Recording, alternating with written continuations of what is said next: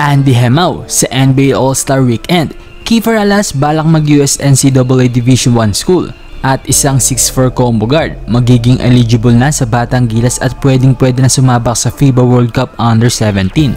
Ang dami nating good news mga brody pero bago yan, gawin nating mas exciting ang panonood nyo gamit ang legit betting site ng 1xBet. I-click lang ang link sa ating pin comment at gamitin ang maswerte kong promo code na 1x007. Tayaan mo ang paborito mong koponan sa NBA, sa PBA o miski sa ibang sports ay pwedeng pwede. Nanalo na ang paborito mong team, kumita ka pa. Up to 6,000 pesos rin ang first cash in bonus. Madali lang rin mag-withdraw dito at mag-deposit gamit ang inyong mga GCash o bank transfer. Kaya ano pang hinihintay niyo mga brody? Tara na't mag-register sa 1xBet. Ang 6'2 guard na si Kiefer Alas ay na-interview sa Rise Sports by Navin kung ano nga bang dream nito para sa kanyang future sa basketball.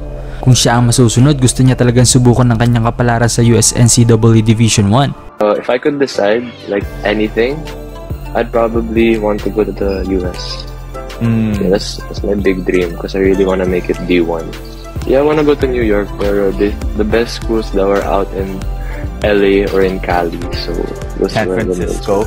Nag-average si Kiefer noon sa FIBA Under 16 ng 15 points, 8 rebounds at 2.6 assists per game. Itinanghal din siya bilang Under 16 Mythical 5 sa buong Asia. At ito lang ay muling nakatanggap ng award si Kiefer sa UAP Juniors ng Another Mythical 5. Paano ba naman daladala niya ang kumpiyansa after ng Asia Under 16? Kaya nag-average siya ngayon ng 20 points, 11 rebounds, 5 assists at 1 steal per game. Medyo kinulang lang siya ng suporta sa kanyang mga teammates, kaya nagtapos lang ang De La Salle sa pang 6 spots with 4 wins and 10 losses record. Ni hindi man lang sila nakapasok sa Final 4. Ang ngayon papasok na sa senior high si Kiefer. Marami ang nagtatanong sa bata kung ano bang plano nito sa kanyang karir. Either na mag stay siya sa DLSZ o mag explore ng iba pang magandang opportunities lalo na ang paglalaro sa overseas. Kayo mga brody, anong sa tingin nyo? Dapat nga bang sumubok na si Kiefer sa overseas o mag-stay na lamang siya sa Pilipinas? Sa kabilang banda, ang 6'1 batang mamaw na si Andy Hemau ay napabalitang magiging parte ng NBA All-Star Weekend ngayong February 16 to 18.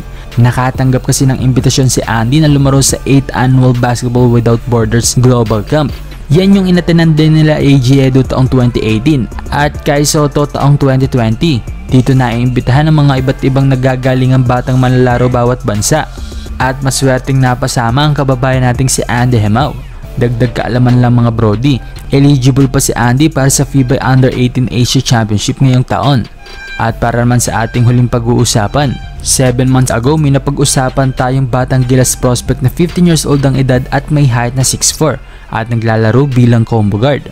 Heto at nakausap ko kahapon si Chase Robertson at isa na siyang ganap na Filipino citizen kahapon lang at ngayong araw nga rin daw niya makukuha ng opisyal ang kanyang Philippine passport.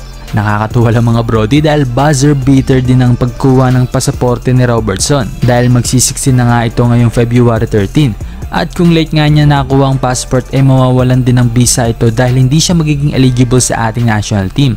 Pero good news nga na umabot dahil magiging eligible at available to mga brody para sa FIBA World Cup Under 17 ngayong Hunyo. Heto nga't panoorin natin kung gaano kagaling si Chase Robertson.